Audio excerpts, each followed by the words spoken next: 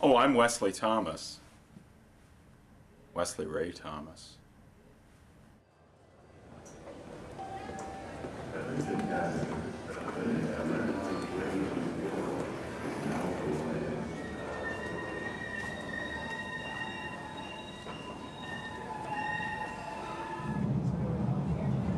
One of my earliest memories is from when I was about two and a half years old. Our family went to a powwow, and as we were watching the dancers, my mom let me know that we were also Indian. I went to powwows in Minneapolis.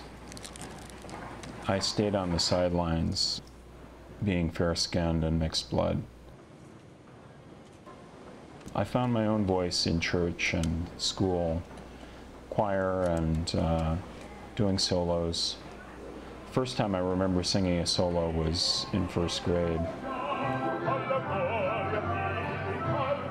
When I was 13, my AP English class went to go see Bizet's opera Carmen. And I really wanted to be the Toreador.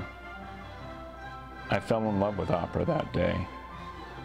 Enough for me to leave home and head east with a scholarship for the Boston Conservatory.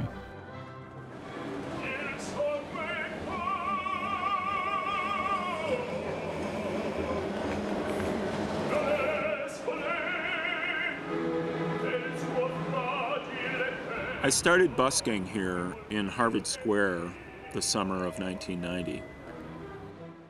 That was after my first year of uh, at the conservatory, um, and I used to do that after I would I would draw portraits for a few hours, and then at 11 o'clock, when the other street musicians would stop because that was curfew and you couldn't have any amplified sound, I could usually sing from 11 to 12, and uh, you know I would be able to get a little extra money and and have fun, kind of bringing opera and art song to the public.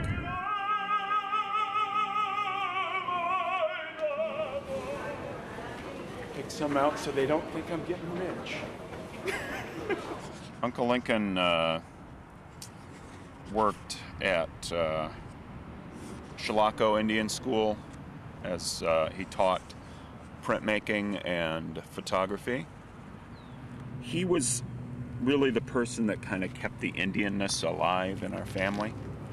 Um, you know, he he spent most of his life around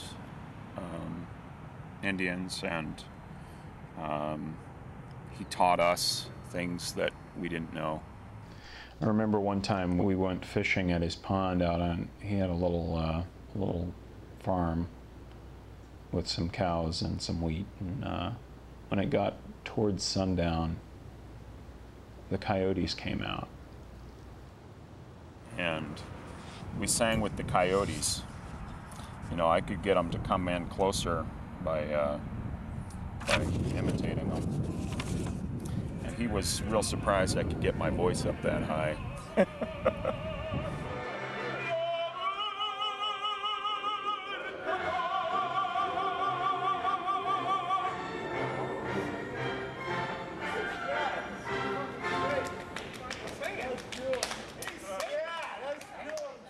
Being away from home was hard.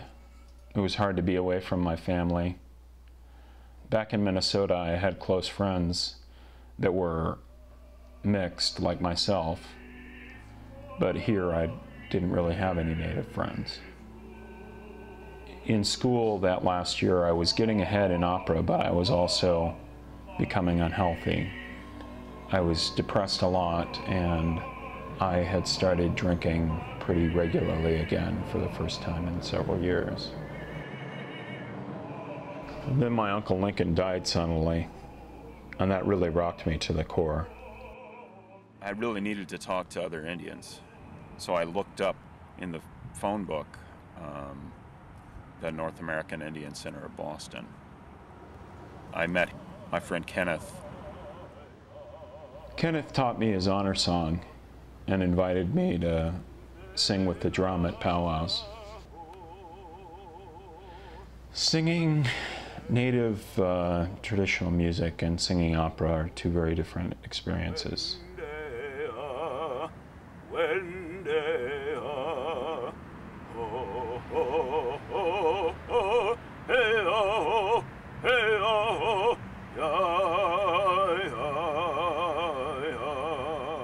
I'm a reasonably successful opera singer. I've sung at the Shubert Theater with the Boston Lyric Opera. I recently sang Ford in Falstaff with Amici Opera in Philadelphia. And I'm looking forward to my first Iago in Otello with Lowell House Opera. Opera is a passion for me, but my traditional native singing goes beyond that. It feeds my spirit.